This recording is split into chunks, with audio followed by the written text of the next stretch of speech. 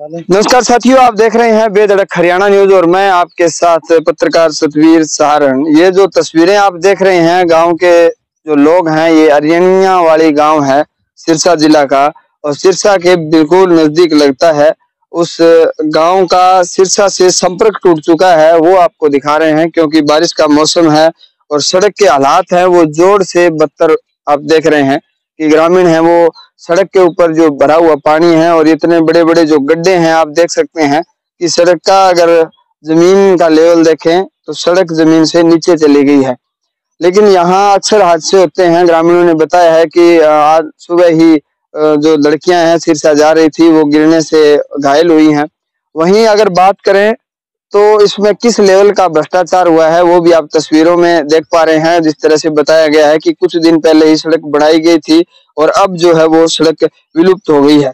इस सड़क की अगर बात करें तो ये राजस्थान के साया तक के इसका लगाव है, लगभग तीन दर्जन से ज़्यादा गाँव हैं हरियाणा के, वो भी इस सड़क से जुड़े हुए हैं, जिनका रोज सिरसा आवागमन होता रहता है। अब आप देख सकते हैं कि इतना इतना जो पानी है इस सड़क पर भरा हुआ है, सड़क पूरी तरह से गायब हो चुकी है और आप देख सकते हैं कि यहाँ किस तरह से जो आने जाने वाले लोग हैं, वो परेशानी का सामना कर रहे हैं।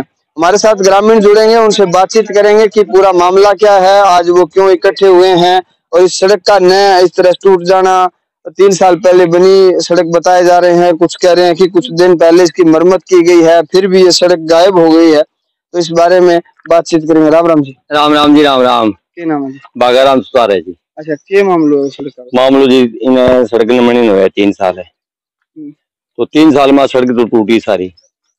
एक खड्डा सुबह में आयो उठे वो तीन छोड़ी गए हम्म। तो बी टाइम दो गुड़िया ही पड़। गई बन घर एंबुलेंस बुला के हॉस्पिटल भेजी।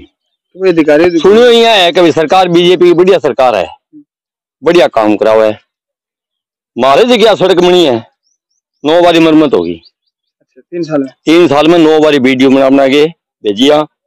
नौ बारी होगी मरम्मत है कोई सुनाई कौन करे। अधिकारियों बात बूत करीब के क्या करवा जाएँगे जी। अधिकारी तो चोर है अच्छा। ठेकेदार भी चोर है। अब इनको एक ही तरीको है तो इनको समस्या मिट जाएगी। वो रोड बंद कर देंगे निजी हो गया जाएगा अच्छा। कोई काम और कोई काम हो तो तीन साल का मैं पूरा परेशान हो गया। मतलब कितने लोग परेशानी? गाँव कितना गाँव शायद गाँव संपर्क टूट रहे इन वो टूट रहे हैं। नावा तो नावा रूपाना बिना तो बिल्कुल तोड़ दियो वहाँ तो। हम्म। तो वहाँ सड़क में कोई नहीं की। बाकी सहायता समस्या ही थी। अठा बंस है। दो टाइम जानो है। और आप देख सकते हैं, ग्रामीणा, ये बड़ी बात है कि यहाँ हादसे हो रहे हैं और उसके बाद भी शासन, प्रशासन और अधिकारी हैं, वो इस तरफ़ ध्यान नहीं दे रहे हैं। आपको बता दें कि जहाँ एक तरफ़ सड़कों का जाल बिछाने की बात शासन, प्रशासन और सरकार के लोग कर रहे हैं, वहीं किस तरह की सड़कें यहाँ बनाई जा रही हैं, वो भी आप देख सकते हैं। सड़क की बात करें, तीन साल में बनना उसके बाद नौ बार उसकी मरम्मत होना ये एक बड़ा चिंतनीय विषय है कि इस तरह की घटिया सामग्री का यूज़ किया गया और अब जो है सड़क वो जोहड़ में तब्दील हो चुकी है। लोग आप देख सकते हैं कि कैमरामैन से कहूँगा कि सड़क को छोड़कर खेतों के रास्ते जाना पसंद कर रहे हैं। सड़क है वो यहाँ पर जो है वो आपको दिखाई नहीं दे रही है। और ग्रामीण जुड़े क्या नाम है? धर्मपाल है जी मेरा नाम। अच्छा मामलो जी रोड बने दो ढाई ढाई तीन साल हुए है। और इतनी ज़्यादा फूट गया और पीछे से फूट गई। तीन चार बारी मरम्मत कर दिया मरम्मत के बाद में भी यह रोड इतनी विलुप्त हो चुकी है। गाँव के कई बार, काफ़ी बार लोग गिर गए हैं। आज सुबह भी तीन, दो लड़कियाँ गिर गई, उनको हॉस्पिटल में एडमिट करवाया गया है। ये तो बात गलत हो गई सारे गाँव के। कई दो दर्जन से गाँव जुड़े हुए हैं। रंधावा गाँव और इधर उपाना गाँव के तो उधर से आने लग गए क्योंकि यहाँ तो रोड फूटी हुई है। इसके कारण ये तो समस्या है। गाँव को वाले तो इधर से आने में दिक्कत हो रही है। क्या करें? इसकी तो बड़ी दुर्गति कर दी हमारी रोड की। और काफ़ी रोड तो फूटी पड़ी है, और भी जगह ये तो थोड़ी सी ये तो काफ़ी जगह है, और छुट मुट तो बहुत ज़्यादा फूटी हुई है, क्या करे? तो साधन चलाना ही नहीं है तो मोटरसाइकिल तो चलता ही नहीं है यहाँ पे। कोई गाड़ी नहीं चलती है, क्या? तो इसी के लिए क्या करें प्रशासन प्रशासन कुछ इसकी गौर नहीं कर कितनी बार वीडियो बना के हमने भेजी है, बताया भी है तो भी हमारी कोई भी सुध नहीं ले रहा है, कोई शासन प्रशासन के लोग कोई सुध नहीं ले रहे हैं जी।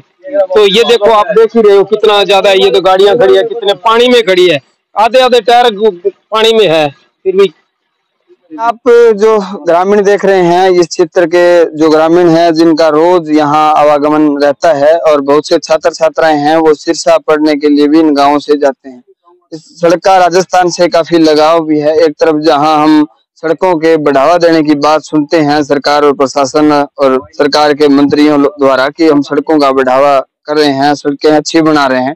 वहीं आपको बता दें कि तीन साल पहले बनी ये सड़क की हालात हैं, तस्वीरें आप सामने देख पा रहे हैं। वहीं उसके बाद जब जब ग्रामीणों ने शासन प्रशासन के खिलाफ आवाज़ उठाई, तब तब इसकी मरम्मत की गई और इस तरह के जो मरम्मत के कार्य हैं, वो नौ बार पिछले तीन साल में हुए हैं। अब आप देख सकते हैं कि यहाँ से जितने भी गुजरने वाले लोग हैं, बाकी भी सड़क की हम आप तस्वीरें बीच बीच में देख रहे हैं कि पूरी सड़क है वो सिरसा से लेके अरनिया वाली गाँव तक पूरी विलुप्त होती जा रही है। लेकिन शासन प्रशासन इस तरफ़ कोई ध्यान नहीं दे रहा है। ग्रामीणों की मांग ये है कि इसको जल्द से जल्द नए रूप से तैयार किया जाए ताकि किसी भी प्रकार का कोई हादसा हो, उससे पहले इसको ठीक किया जाए। ये तमाम जानकारियाँ आप देख रहे हैं। बेधड़क हरियाणा न्यूज़ पे मैं आपके साथ पत्रकार सतवीर सारण कैमरा सहयोगी जोनी शर्मा के साथ। धन्यवाद।